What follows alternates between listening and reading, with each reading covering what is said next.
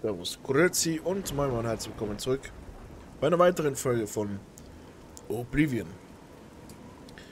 Ja, für mich, für mich ist es jetzt auf jeden Fall eine Weile her, wo ich äh, Oblivion aufgenommen habe. Zwei Wochen, um genau zu sein. Ich musste mich jetzt kurz mal einlesen. Das Feine ist aber, da ich es ja aufnehme, brauche ich mir nur die alten Folgen anzusehen. Ich weiß eigentlich schon, was ich machen muss. So, es regnet wie immer. Ne? Das letzte Mal hatten wir eine Daedra-Mission gemacht. Und jetzt holen wir das Schild der Kreuzritter. Ich hoffe, ich hoffe, das Schild an sich ist nicht so schwer, denn wir sind wieder ziemlich voll im Inventar. Okay, hier runter. Hier geht's rüber. Seht ihr hier? Ne? Also ich hoffe, ähm, das reicht. Und das Schild wiegt nicht so, nicht, nicht so viel. Okay, ist auch eine Tür.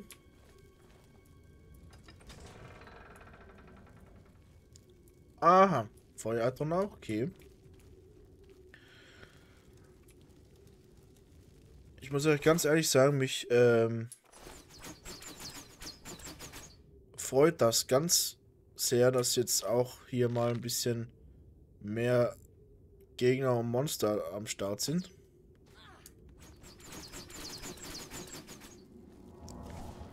Als am Anfang. Und mir kommt vor, also wenn man stufenmäßig ein bisschen aufsteigt, dann äh, wird es schon ein bisschen schmackiger, das Spiel. So wie es auch sein sollte. Ne? Aber das gefällt mir. Ich mag ich es zwar schwer, ja, aber nicht zu schwer, dass ich äh, immer kurz am Verzweifeln bin. Oder kurz vorm Verzweifeln. Aber ihr wisst wahrscheinlich, was ich meine.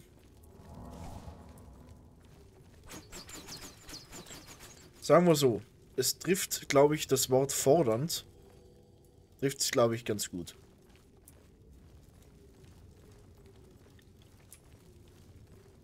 Fordernd, okay. Schwer, naja. Wer wollen wir, wollen wir nicht unbedingt. Also, wollen, ne? Also, schon, aber so schwer das ist dass es keinen Spaß mehr macht und ich ähm, für jegliche für jegliche Missionen 10 oder 20 Versuche brauche, das ist dann halt für ein Let's Play schon ziemlich anstrengend, ne? Das würde so in diesem äh, Kontext nicht gehen.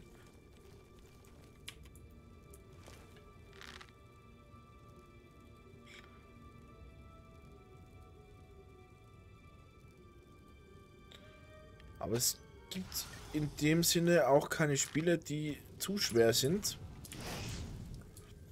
Weil auch Dark Souls ist ein Spiel, ähm, das gelernt werden kann. Und da es halt auch eine Taktik braucht. Ne? Das heißt, du kannst äh, beim beim äh, Dark Souls nicht nur durchlaufen, dann bist du kaputt. Wenn du aber die ganzen Gadgets nicht kennst, ne? Zauberringe, Tränke und so weiter und so fort, wenn du wenn du das das erste Mal machen musst oder willst, ne? Dann bist du anfangs mal kurz überfordert. Und ich kam nie so, ich kam nie so weit. Ähm, dass ich hier wunder was äh, rausreißen konnte. Notizen des Zauberers. Okay. Akolyten. Der Schild ist hier, das wissen wir, und dennoch haben wir ihn nicht gefunden. Die Festung ist gesäubert worden und immer noch entzieht er sich uns. Zweifellos wurde er vor Augen wie den unseren verborgen, in der Absicht, ihn denen vorzuhalten, die seine Geheimnisse lernen wollen. Das Tor zu den unteren Ebenen versperrt uns nicht mehr den Zugang. Beachtet die Kerzen an den Wänden, wenn ihr passieren wollt. Die Festung muss um jeden Preis gehalten werden, wenn wir Erfolg haben wollen. Lasst niemanden hinein, lasst keinen Feind entkommen. Ja, das ist ihnen nicht so gut gelungen. Aber ich glaube auch, die haben nicht mit mir gerechnet. Sondern mit etwas völlig anderem. Da ist ja irgendwas aufgegangen jetzt, ne? Ih, da liegen Hände. Waffenhandbuch. Okay, konnten wir nichts mehr lernen. Schade. Okay, ich glaube, vielleicht hat sich hier drüben was getan. Es sind alles ein bisschen verzweigt hier. Ich bin äh, teilweise verwirrt. So. Ah ja, okay. Was für ein geiler Mechanismus, ey.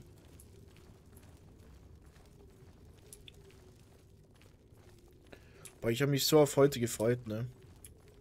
Aufnehmen. Endlich wieder Oblivion. Das glaube ich jetzt die Folge für Samstags. Was? Hä? Was? Äh, nee. Ist doch langweilig, wenn ihr, wenn ihr mich sehen könnt. Aha, hier haben wir Druckplatten. Achtet auf die Kerzen. Okay. Das Rätsel haben wir natürlich sofort enttarnt.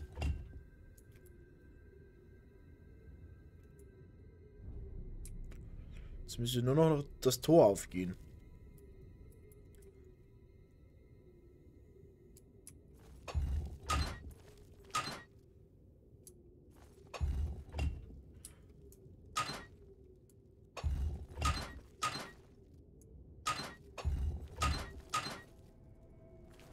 Okay, warte mal. War gut, ne? Okay. Hier ist eine. Heißt es dann, ich muss die Mitte nehmen?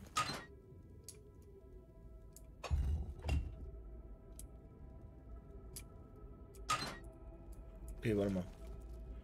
Eins, zwei, drei. Okay. Also. Eins, zwei, drei, vier.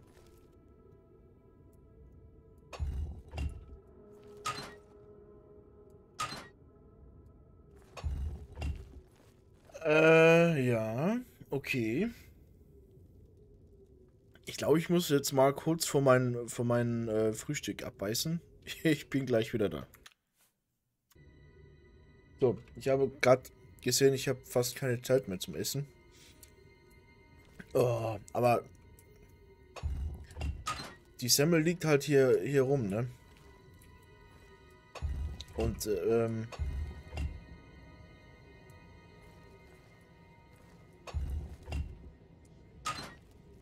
Ne. Irgendwie funktioniert das nicht so. Wie geplant. Also die Kerze ist hier. Dann wäre da die Kerze hier. Dann wäre das hier. Und das wäre hier, oder? Aha, okay. Alles klar. Gut, jetzt hat es funktioniert. Supi. So. Bis hier, hier links von mir ist, ist eine Semmel. Und, also eigentlich zwei Semmeln. Eine mit Schinken und Tomaten. Bitte öffnet das Tor. Ich muss hier rauskommen. Ja, wer bist du? Wo seid ihr hin? Kommt Äh. raus, sodass ich euch sehen kann. ähm, und, also eine Semmel mit Schinken, ne? Und die andere, Danke, dass ihr mich gerettet habt. Ich weiß überhaupt nicht mehr, wie lange sie mich hier festgehalten haben. Oh, den kennen wir ja doch, oder? Terret, Tetret. Und jedenfalls liegt hier noch eine Semmel äh, in zwei Hälften geschnitten mit Butter und Honig. Und da die Semmeln jetzt gerade frisch gemacht sind, schmilzt da, da die Butter so. Ne? Ui. Achso, ne, den kennen wir nicht. Okay. Ich bin Sir Tedrit. Ich kam hierher auf der Suche nach dem Schild des Kreuzritters und wurde von diesen Feiglingen überfallen. Seitdem halten sie mich hier gefangen. Was will wir hier? Ich wurde lange Zeit von diesen Schuften gefangen gehalten. Sie wollten wissen, wie man an den Schild gelangt und glaubten, ich würde ihnen helfen.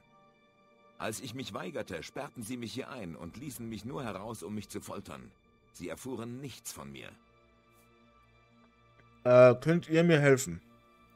Ich kann euch nicht begleiten, falls ihr das meint. Ich bin zu schwach, ich muss mich ausruhen. Sobald ich wieder bei Kräften bin, werde ich mich eurer Sache anschließen. Ihr müsst allein weitergehen, aber die Kenntnisse, die ich gewonnen habe, könnten für euch von Nutzen sein. Was wisst ihr denn? Bevor ich diesen Ort fand, erfuhr ich ein wenig über jene, die ihn angelegt haben. Er wurde geschaffen, um den Schild sicher und verborgen zu halten. In den Schriften, die ich fand, tauchte ein Satz immer wieder auf. Wenn die Augen der Wächter auf dich sehen, wird dir Julianus gewogen sein. Ich weiß nicht genau wie, aber ich bin überzeugt, dass es ein Hinweis darauf ist, wie man sicher durch diese Ruinen kommt. Ich habe es nur euch erzählt. Hoffentlich hilft es euch. Ich muss aus dieser Grube herauskommen und mich aus... Wir werden uns...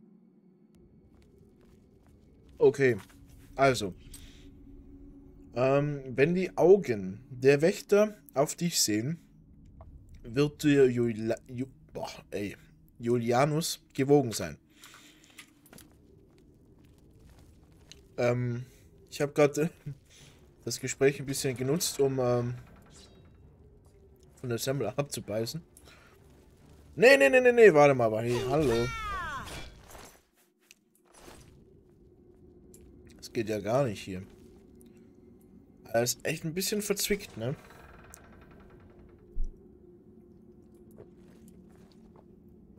Ich wünschte, ich hätte mehr Zeit.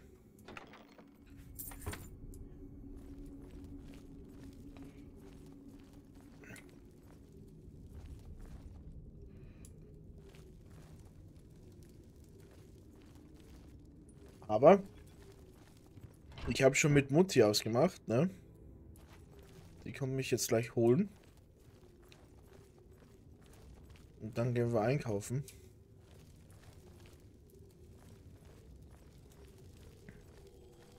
Und das deswegen, weil sie ein Auto hat.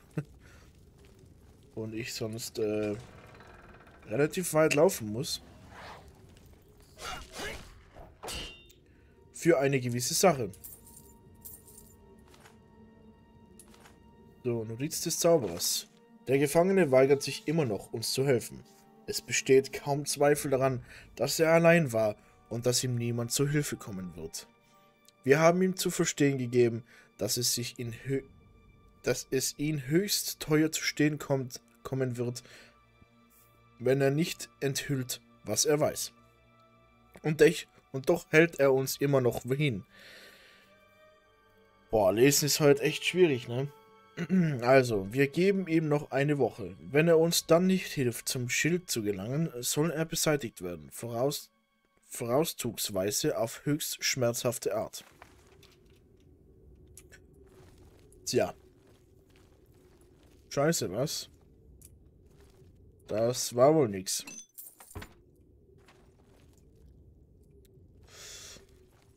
Okay. Gehen wir hier hoch.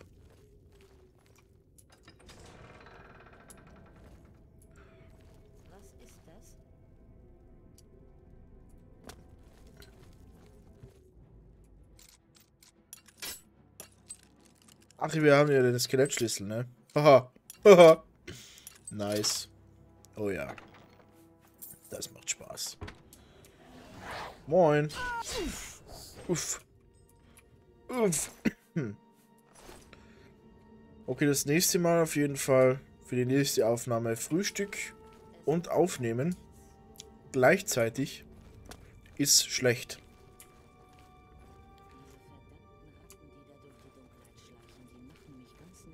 Ja, ja, die Ratten. Wenn es nur die Ratten werden, ne? Aber wenn der Klaus kommt. Naja, dann. Ist der Klaus im Haus, kommt hier niemand mehr raus. Lebend.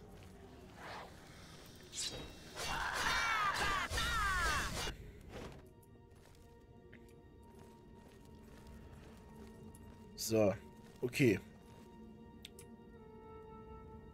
Aha. Ich kenne mich gerade überhaupt nicht mehr aus.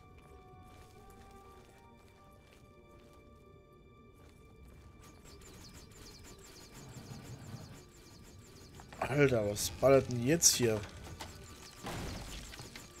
Oha.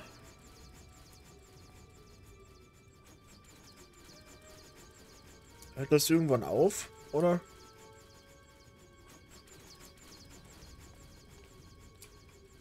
Das hört gar nicht auf, ne?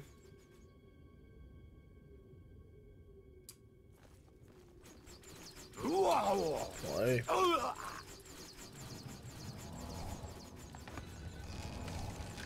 Das ist doch schier unmöglich, hier äh, durchzulaufen. Da muss irgend, irgendeinen Trick geben, denn äh, sonst wäre das irgendwie... Sonst wäre das irgendwie nicht möglich, oder? Da haben wir wieder irgendwas übersehen. So wie immer halt. Obwohl wir eigentlich nicht wirklich viel übersehen.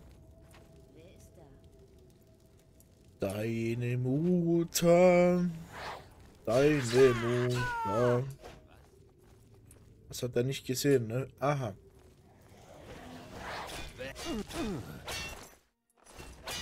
Elfendolch. Aha. Naja. Okay, das sieht irgendwie ein bisschen äh, Dings aus, ne? Hier. Und das sieht aus wie... Als ob man das drehen könnte. Ich werde jetzt schnell noch äh, ein bisschen vom Honigbrot knabbern.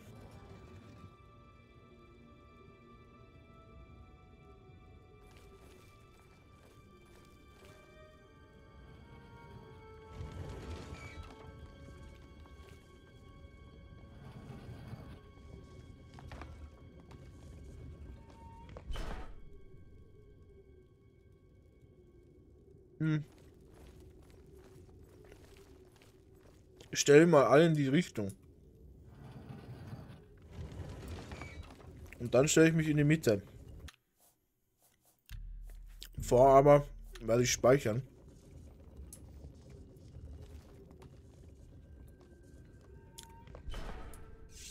So.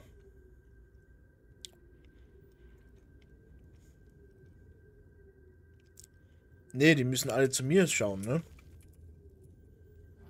So ist.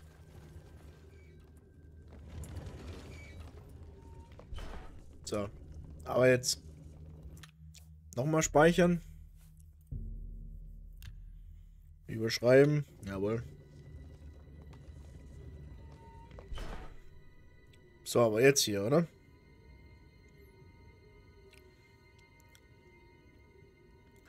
Ja, der steht noch nicht ganz, ganz so, wie er soll. Hallo? Ja. Aber jetzt.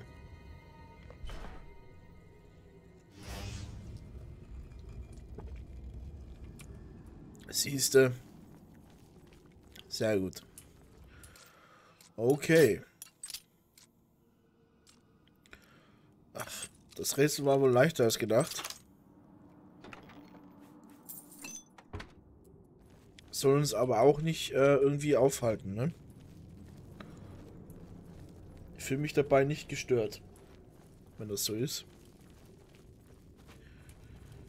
So, so, so. Oh, je.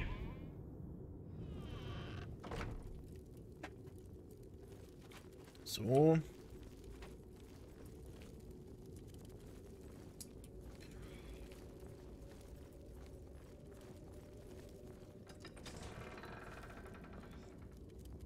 Ah ja.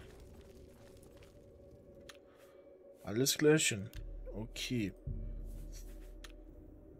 Dann könnten wir entweder das vorhin jetzt als Farbnell nehmen, nehmen oder das hier. In den Tiefen der Festung Bulwark habe ich eine Art Rätsel oder Falle gefunden. Ich muss herausfinden, was das bedeutet, bedeutet um, um an den Schild des Kreuzritters zu kommen. Ja, gut angefangen, aber wieder schlecht zu Ende gemacht. Die sind alle von mir abgewandt, ne?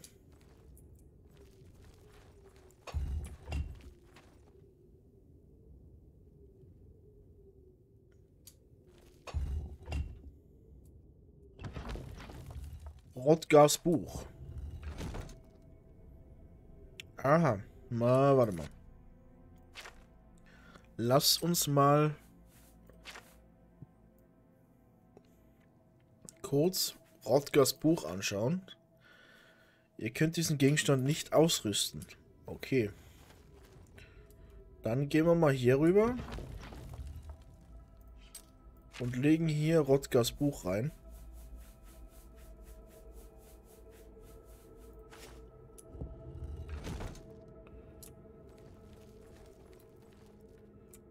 Hat sich hier irgendetwas getan? Rottgas Edelstein.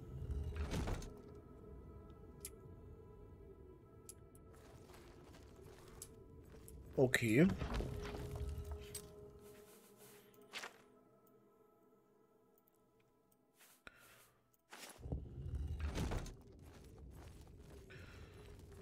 Ah, warte mal, Rottgas Helm.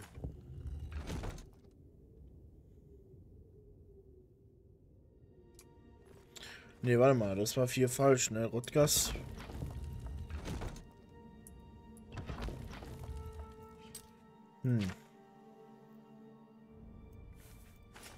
Rotgashelm. Rotgas-Schädel. Egal, warte mal.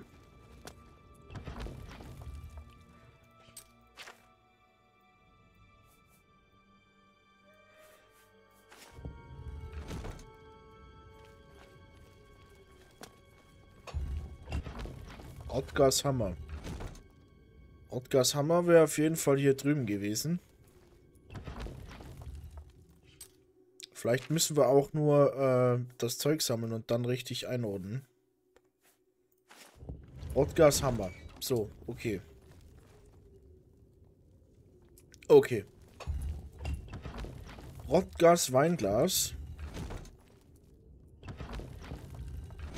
Wissen wir nicht wohin, ne? Rodgers Schädel wäre hier gewesen. Den haben wir jetzt aber nicht mehr. Oder? Ne. Okay, Rodgers Schädel.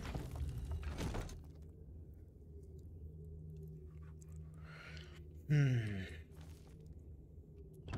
Wie kriegen wir denn... Wie kriegen wir denn... Okay, jetzt mal mal.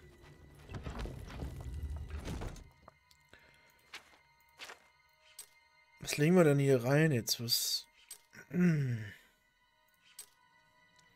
Wie machen wir das jetzt?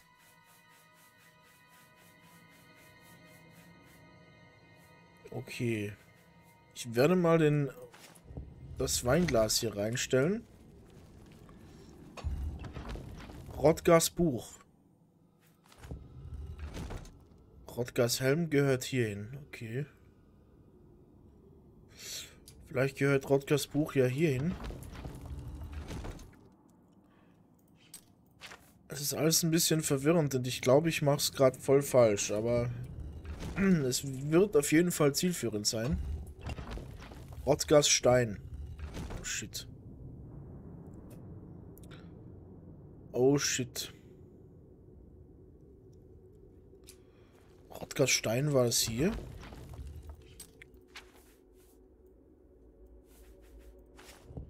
Ich glaube ja. Das Buch war also hier hinten. Moment. Rodgers Schwert.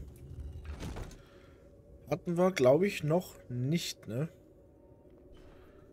Oder? Rodgers Schwert. Könnten wir vielleicht Da ist Buch. Da ist ähm, was anderes. Vielleicht in einen von den beiden.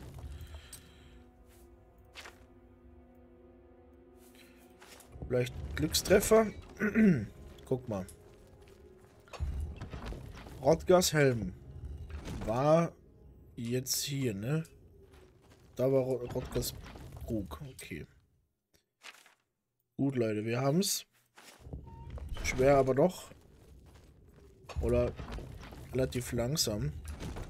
Aber dann doch. Gecheckt, wie es funktioniert. Shit. Scheiße. Da habe ich jetzt irgendwas noch reingelegt. Das Weinglas, das war... Das war... Das war hier, ne? Denn drüben war... Drüben war das Buch. Der Edelstein war hier. So. Und hier war das Buch.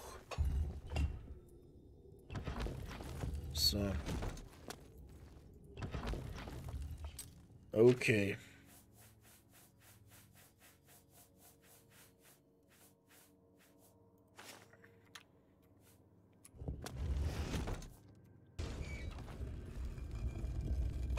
Okay. Dann geht's wohl hier zum Schild. Ui, schön. Jetzt nehme ich es und dann steht hier, ihr seid zu schwer belastet. Ich habe den Schild des Kreuzritters wiedererlangt. Durch den Fund des Schildes des Kreuzritters habe ich Sir Henriks Suche beendet. Ich sollte zur Priorei zurückkehren und mich erkundigen, ob es etwas Neues über die beiden noch zu suchenden Reliquien gibt. Willenskraft wiederherstellen, Intelligenz wiederherstellen, das wäre für mich jetzt gar nicht so schlecht. Silberschüssel. Gold, das nehmen wir, oder? Ist nicht so schwer.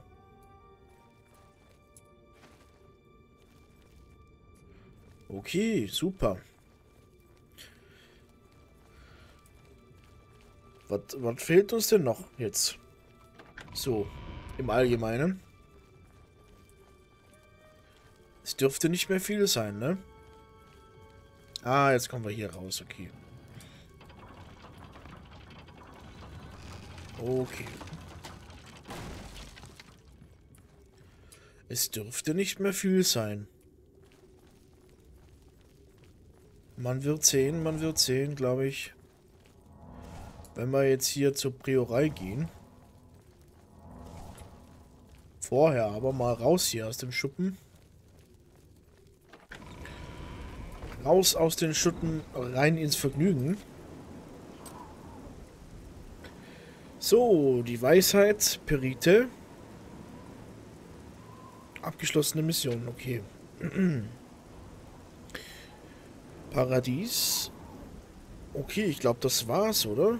Priorei der 9. Da gehen wir mal hin.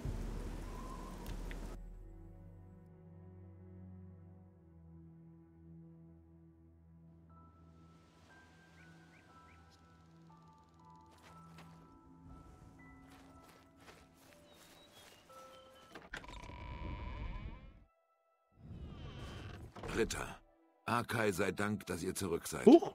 Ich habe eine schreckliche Nachricht.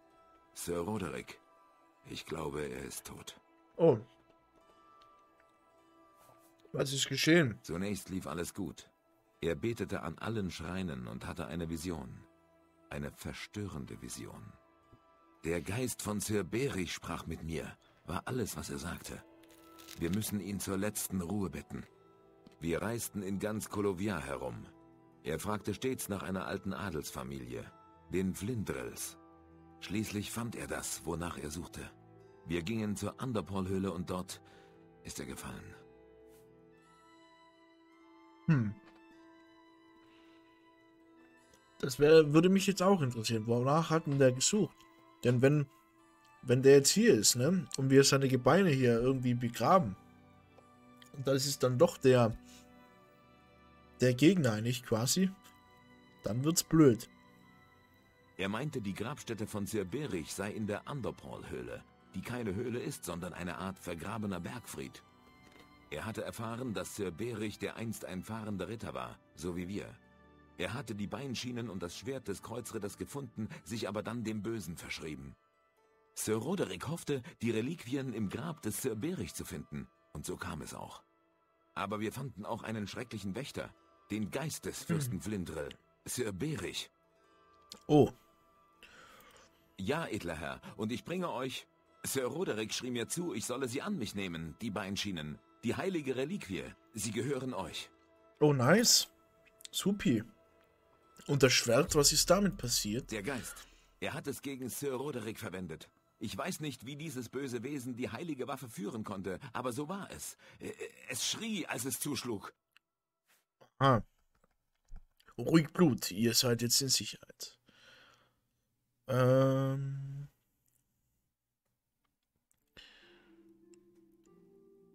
Was machen wir denn jetzt? Es tut mir leid. Ich habe Sir Roderick schon einmal im Stich gelassen. Ja, ich will okay. nicht wieder versagen. Ich erinnere mich, dass er etwas über das Schwert sagte, bevor wir... Er befürchtete, das Schwert könne durch das Böse verdorben sein. In dem Fall müsse es auf dem Altar seines Schöpfers, des göttlichen Arkai, neu geweiht werden. Das ist alles, woran ich mich erinnere. Ich hoffe, es ist euch eine Hilfe. Ja, du. Ich hab, ihr habt euch gut geschlagen, Latte. Danke, Ritter. Ich möchte euch um eine Gunst bitten, obwohl ich weiß, dass ich es nicht verdiene. Oh nee. Würdet ihr mich zum Ritter der Neuen schlagen? Ich will mein Leben damit verbringen, die Welt vom Bösen zu befreien. Das bin ich Sir Roderick schuldig. Ähm.